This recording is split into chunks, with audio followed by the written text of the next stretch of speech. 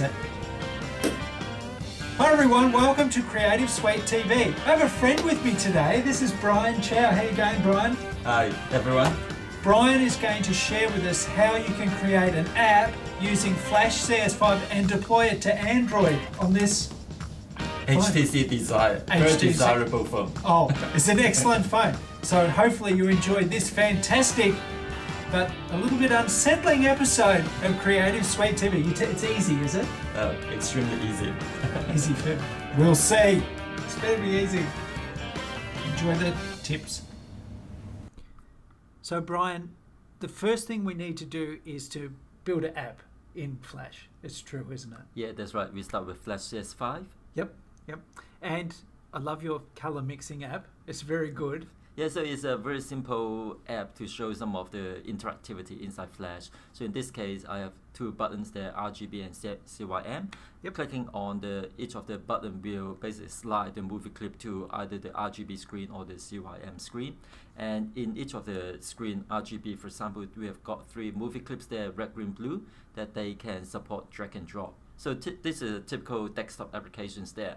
But uh, when it comes to mobile application, we want to use the, uh, we want to see that uh, whether the, the mouse event, uh, how does that translate into a ch- touch event. So this is what this application is all about. Ah, so for a mobile app for Android, which Mhm. we're going to have a look at today, is there anything special that Mhm. that we need to understand about uh, how that works? So, um, Yeah, absolutely. Yeah. Um, well, you know, uh, the, the beauty about if you are familiar with building Flash application, uh, uh, to move on to creating applications that runs on mobile is uh, quite straightforward.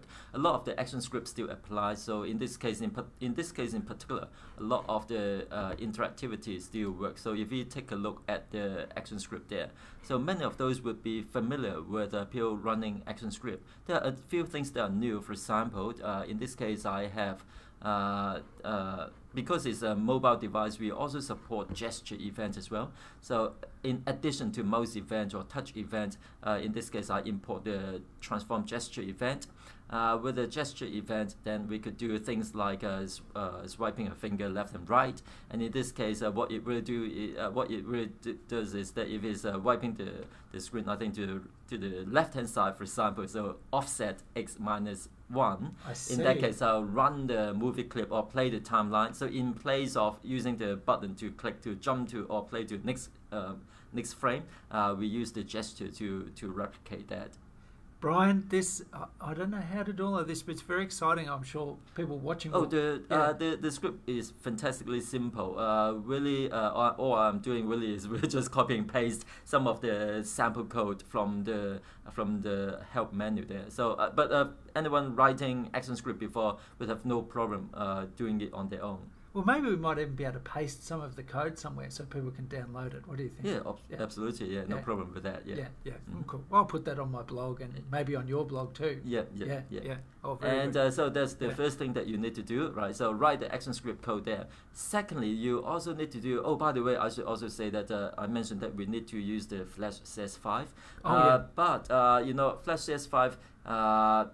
The Android support for Android came out after we released the Flash CS5. So uh, anyone who want to try it will need to go to the Adobe Labs. And at the Adobe Labs, you can download this uh, latest update, the Flash Professional extension for Air 2.5.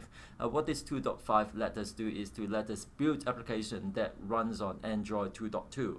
Uh, so it's a simple, a, a little extension that uh, you could just download from our website. And once you've downloaded it, uh, double click and you launch the extension manager and the extension manager will uh, therefore install the extension onto your flash cs5 So we already did that, didn't we? Yeah, Brian we've helped. Brian that. helped me do it. It was Yeah, very yeah. easy when Brian was helping me do it. But um, so we go into Labs, we download, we install that there. Mhm. That's really good. Well, we've already had a look at it running on your phone. Mhm. But how does it get there? How does it get from our laptop Mm. onto the phone? Oh, uh, the process can't be any simpler. Okay. Uh, Should we do it? Yeah, let's. Yeah, Yeah, yeah, exactly. Why don't we yeah. do that now? Because Yeah, uh, yeah. uh, I've already uninstalled the application on my phone, so we could try again, right? Oh, very so, good. So we've now got uh, the in this case I've got the HTC Desire uh, running Android 2.2. Again, you I have to emphasize that uh, the support of Flash from Android has to be start from version 2.2. Right. And uh, once you've got the phone with the latest, uh, not uh, once you've got the phone with the Android 2.2, all you need to do is to have a USB cable plug into your laptop computer, and from the USB cable, uh, once it's plugged in, you basically ask where you want to. Uh, connect the phone onto the uh, onto a computer as a as a disk drive mount as a disk, disk drive or Yep. just as a charge only. Either case would work. So we've already done that now. Yep. Uh, all we need to do now is to go to File and Publish Settings Publish just to make sure that everything is all right Okay. and uh, go to the Flash tab. And this is new. Uh, once you've got the, the latest extensions there, see that the profile include Air Android, and uh, along with other things like iOS uh, or the other uh, traditional profile as well. The one we are using will be pick. Uh, we'll click the Android and click the settings, and from then on, pretty much uh, you enter whatever you want. You need to enter like the application name, reference. Uh, we chose the full number. screen before, didn't we? So it could Yeah. go full screen. Yeah, so you will basically yeah. uh, allowed for full screen, stretch to full screen, so that would do. Yep. Uh, you can also. What about this icons? So you can upload your own icons on there too. Yes, uh, because Yeah. all the applications have uh, nice graphics that we represent. Uh, and if in this case I'm being lazy and Right. I'm just using reusing some of the air uh, typical air icon, but use the use whatever icon that you like. Maybe I'll make you some icons. Yeah. oh yeah, Yeah. that would be good. Yeah. and uh, the deployment. Uh, let's click on the deployment side, right? Yep. So the deployment here, this is where you need a certificate. Uh, a certificate uh, for for local testing, of course, you can Okay. just create your own certificate there. Uh, uh, we ha- we give you the option to create a certificate uh, for your own. You just enter your e- key in your details. We do. You don't have to pay anyone to create uh, your own certificate. You don't even need to ask permission from anyone to create They your could pay me some money though if they wanted to. Uh, well, I'm sure you accept It's- gladly I'll- I'll accept ex- it. I'll gladly accept it. But uh, Yeah. otherwise, you create your own one and put in your password. So, uh, Mike, you know my password already. What was it again, Brian? Doop, doop, doop, doop, doop, doop, doop. Right. So, you do it. right. So there's my password. remember. Now, uh, before we click OK, take a look at the different options there. There's the uh, we are going to output it for uh, output directly onto the device. So Mhm. device release. Yep. Uh, obviously, uh, we should do testing, debugging, but trust me, this application we've tested so many times. I So trust just, you. Yeah. just uh, test it. But uh, the beauty, the, the real beauty is here. Uh, there are two checkbox, right? Uh, un, af, under the after publishing, Yep. you could install straight from your computer onto your uh, onto your mobile phone uh, straight away. You don't even have to. Uh, the workflow is a little bit different than how we publish onto iPhone.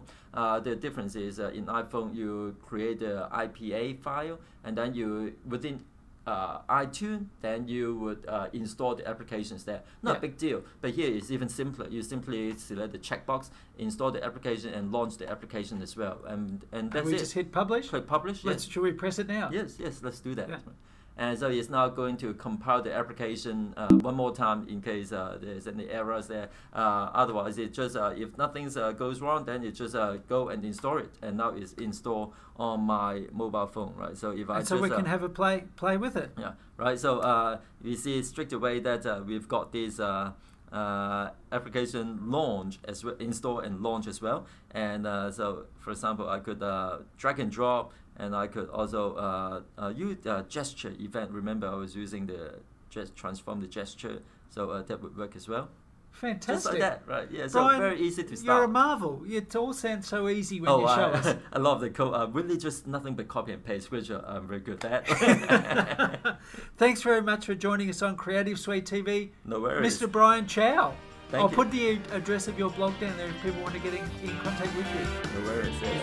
Thank you, Brian. We'll see you all next week. Creative Suite TV signing off.